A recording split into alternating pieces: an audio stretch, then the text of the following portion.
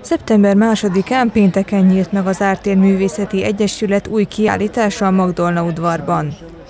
A Lux címmel ellátott tárlat a Budafoki Pesgő Bornapok programsorozatába kapcsolódott be különböző alkotásaival. A 15 kiállító művész mindegyike nagyon komoly meditatív útra hívja azt, aki ebbe a kiállításba be tud kapcsolódni, és a művek megszemlélésére szán időt. Talán ez a szemlélődő magatartás lenne a leginkább ajánlható azoknak, akik a kiállított művekkel kapcsolatot akarnak teremteni. Leginkább a Hajd Attilának a, a művein érezhető ezt, hogy látszólag dokumentál valamit, tárgyi valóságot, a fészereknek a világát, mégis azt érezteti, hogy ott valaha valaki jelen volt. Ha most elszaladok a képek előtt, akkor ez az érzés soha nem érinthet meg engem, csak ha megállok, átadom magam a képvilágának, és elgondolkodom rajta. De ugyanez elmondható a tárlat összes többi alkotásáról is, valamennyi nagyon mély meditatív szándékkal készült, és hogyha a látogató átadja magát ennek a meghívásnak, akkor mély élményekben lehet része. A kiállítást megnyitó Bakonyvári Ágnes művészet történész az alkotásokkal kapcsolatos benyomásait is megosztotta velünk. A tárlat alkotóinak többsége fotóművész, és azt is megfigyelhetjük, hogy akik például festményt készítettek, vagy például a porcelánfotó is előfordul a kiállításon, azok is valamiképpen a fény, ha most azt mondjuk téma, akkor a fény témájával vagy a fény természetével foglalkoztak. Ugye, amikor valaki fotót készít, akkor feltétlenül a fény lesz az alkotásának az eszköze.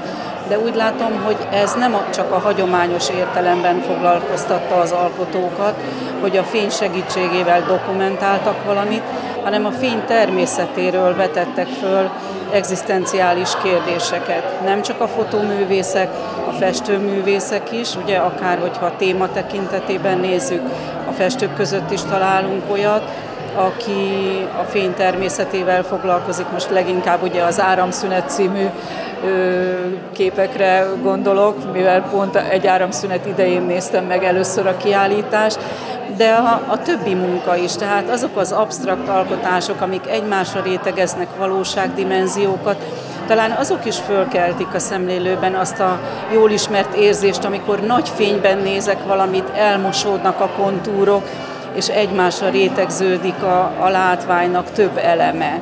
Ez, ez egy ismerős érzés a hétköznapokból, a gyakorlatban nem szeretünk ezzel foglalkozni, mert jól, pontosan kell látnunk, tájékozódnunk, mennünk, fordulnunk jobbra-balra, de ha egy kicsit meg tudunk állni, akkor át tudjuk adni magunkat ennek, vagy a nagy távlatokból való, a Petőmárknak a festménye, ugye, aki felülnézetből, és a kis fénypontok világítanak, vagy a Filótás Viktóriának a porcelánfotói, aki megállítja a, a fotózás technikai folyamatának a egy-egy állomását, és azzal külön külön foglalkozik, kiemelten próbál azzal a technikai lehetőséggel valamilyen üzenetet megfogalmazni. A galéria udvarán további installációkkal is találkozhattunk. Évente megrendezésre kerül itt a bornapok, régebben borfesztiválnak hívtuk, és minden évben pár ember lehetőséget kap, pár alkotóművész, hogy egy installációval szerepeljen itt a bornapokon. Most én is részese lehetek ennek a néhány embernek, és itt, ami mögöttünk van, ez egy hungarocelből készült installáció.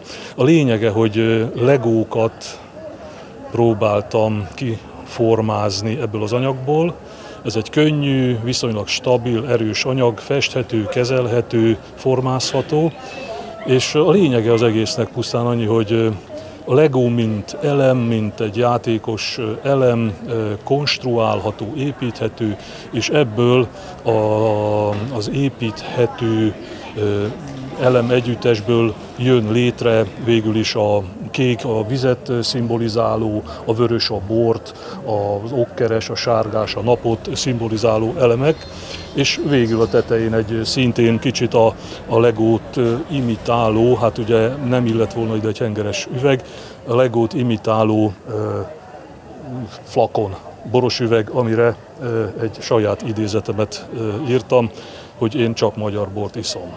Mert a magyar bor jó bor, a bor az több, mint, mint ital, a bornak lelkülete van, a bor az egy olyan, olyan lélekkel rendelkező ős anyag, ami megvidámítja az ember szívét. Tehát tartalma van, jelentése és jelentősége is egyben. A kiállított művek október 15-ig tekinthetőek meg.